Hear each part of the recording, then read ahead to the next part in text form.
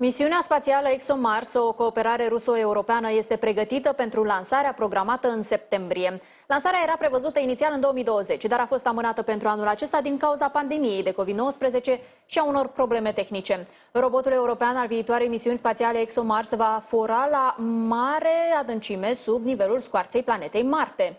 Despre toate acestea vom discuta în minutele următoare cu domnul Adrian Șonca, astronom, în direct acum cu noi. Bună ziua și mulțumesc tare mult pentru această intervenție. Bună ziua! Ce își doresc uh, cercetătorii, în primul rând, să afle în momentul în care acest uh, robot va ajunge pe Marte? Practic uh, se dorește să se afle dacă pe Marte a existat viață sau dacă au existat condiții ca viața să apară și să funcționeze.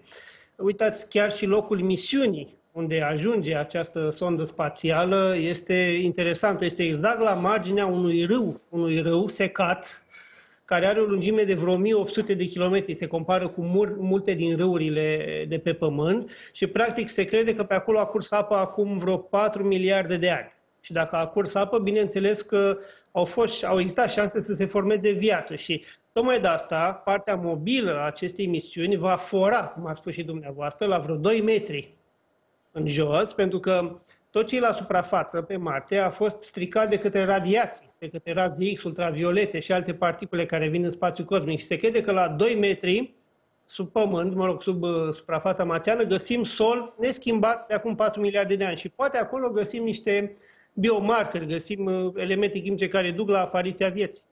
Ce înseamnă o astfel de, de misiune și pregătirea unei astfel de misiuni în condițiile în care, iată, acum vorbim despre forare, vorbim despre uh, o misiune ceva mai uh, complexă? Să știți că nu este prima oară când se forează pe Marte. Acest lucru a fost făcut și de către NASA de câteva ori.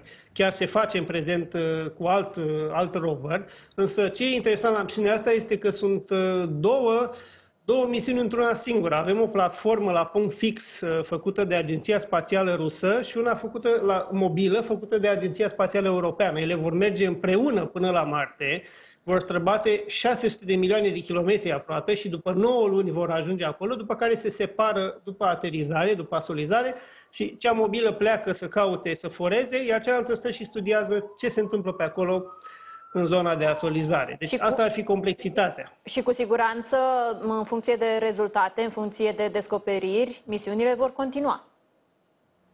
Desigur, se, se estimează că ar exista cam un an pe Marte. Pe Marte este foarte greu pentru că ziua este, nu este foarte, foarte cald, nici foarte frig, dar noaptea se fac vreo minus 100 și ceva de grade, de pentru care se strică foarte repede echipamentele terestre care se duc acolo. Se, cam un an ar trebui să dureze, minim un an.